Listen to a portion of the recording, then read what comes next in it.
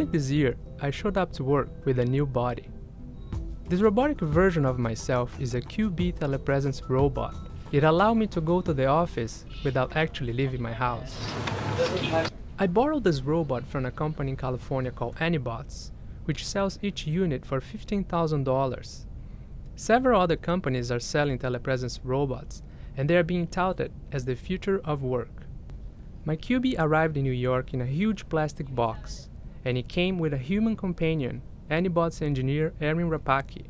Her job was to help set up the robot. When you receive your robot, the robot will be packed away and it'll be about three feet tall.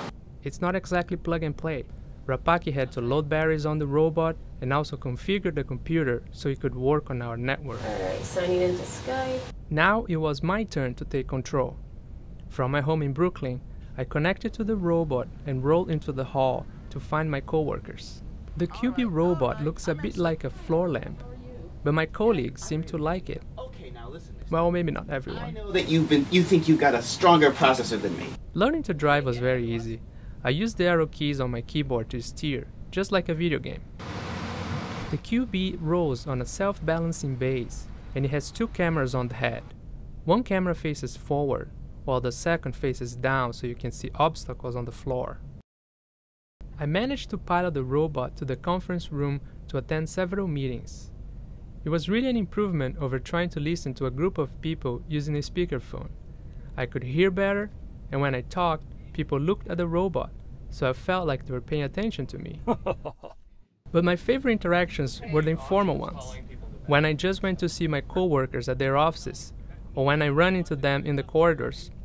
What are you having at home? Electronic Um, circuits or? Just some coffee. Now, being a robot is not a perfect existence.